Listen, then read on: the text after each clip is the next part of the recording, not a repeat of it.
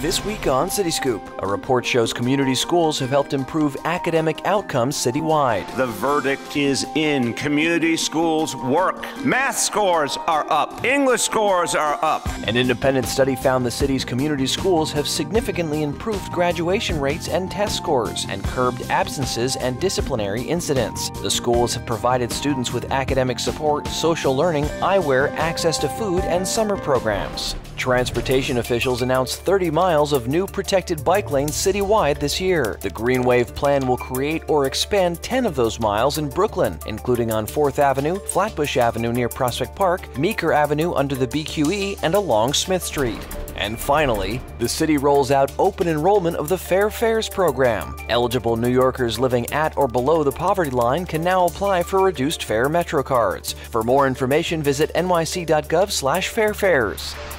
That's it for this week's City Scoop.